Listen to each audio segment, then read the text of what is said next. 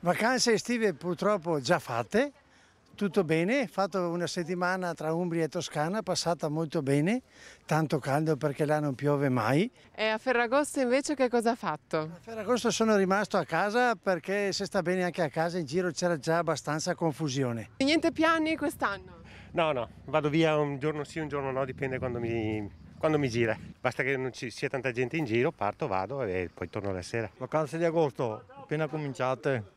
E cosa farà? Rimarrà qui locale? Andrà via? No, rimango qua, E Ferragosto invece come l'ha passato? in montagna, Dove? a Montecorno. A casa, siamo stati via un paio di giorni e basta. Dove siete andate di bello? A Sottomarina.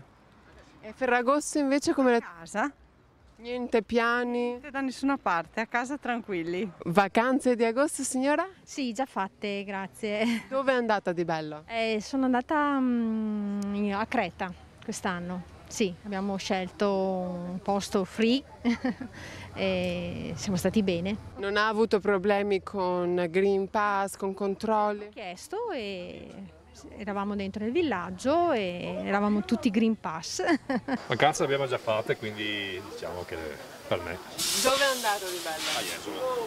Quindi è rimasto locale? Eh, sì, perché con il Covid abbiamo preferito non utilizzare tipo spostamenti un po' più, se non dico l'auto, e quindi qui vicino.